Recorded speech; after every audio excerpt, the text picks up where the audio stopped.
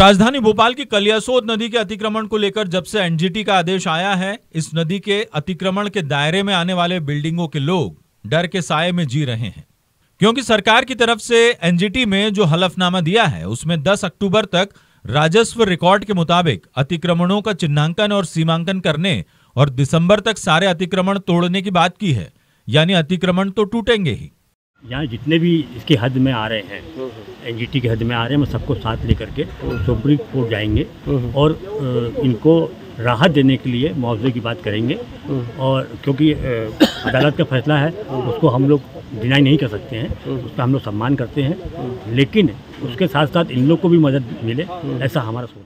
कलियासोत नदी के 33 मीटर के दायरे में वैसे तो 500 से ज़्यादा अतिक्रमण है लेकिन चिंता उन लोगों को हो रही है जिन्होंने बिल्डरों से लाखों रुपए में मकान खरीदा।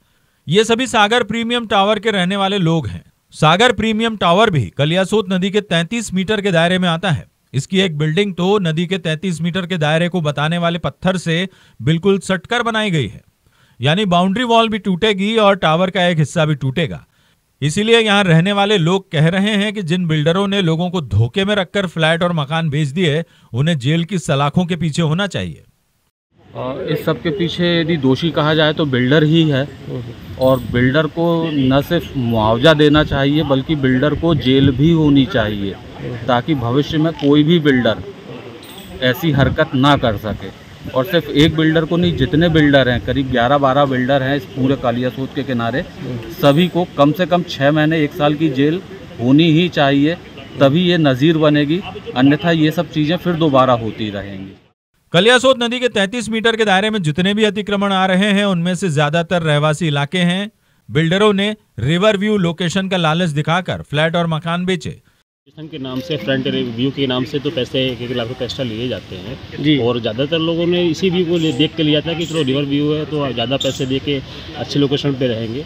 पर वो रिवर व्यू तो छोड़िए इसके बाद हमारा क्लब हाउस और स्विमिंग पूल और गार्डन ये सारा एन में चला वो उसमें आ गया है। जिसके पैसे जिसके पैसे सभी ने दिए हैं कि हम इसकी सुविधाएँ लेंगे उसका एक्स्ट्रा पे करेंगे। और सरकारी अधिकारियों के साथ मिली भगत कर सभी परमिशंस हासिल की। लोगों को भरोसा हुआ कि जब सारी परमिशन है तो फिर ये अतिक्रमण कैसे माना जाएगा? लेकिन उन्हें ये नहीं पता था कि बिल्डर और सरकारी अधिकारियों ने मिलकर मोटा पैसा कमाया लोगों को अपने हाल पर छोड़ दिया है। क्योंकि एनजीटी के इस आदेश को अब सरकार सुप्रीम कोर्ट में भी चुनौती नहीं दे सकती, क्योंकि सरकार ने ही अतिक्रमण मानते हुए कोर्ट में शपथ पत्र दे दिया है।